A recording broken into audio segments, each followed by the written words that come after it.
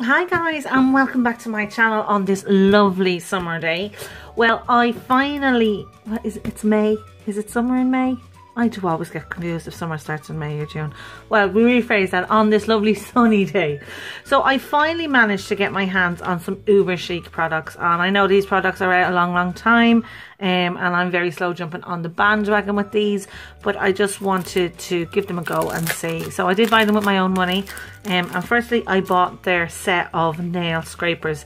Now, I have to say, I think their scrapers are great. They have three um, solid colours in the pack and they have three transparent ones.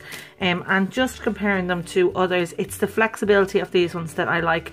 They are not too thin and they are not too thick. Like if we have um, I have a really thin scraper that I used before but it's just so thin. It's um, kind of got warped from the I think from the acetone because it's that thin. Like you can really see the difference between the two of them there um, and then we go ahead and you have your thick scrapers that aren't really that flexible at all. And they're good too, but it's these are the type I like. So that's why I ordered these. And the pack six was for 50 sterling these were. Um, I'll link below on where I got the product. So we have the new scraper with them. And then I got two plates. I got the Fairy Tales 01 and I got the Unicorn Love. And no, I did not need another unicorn plate, but this plate is just all over Instagram and Instagram made me buy it. They're such bullies. I know. Um, it's just, uh, just there's some lovely designs. And with Uber Chic, I love the way you can layer,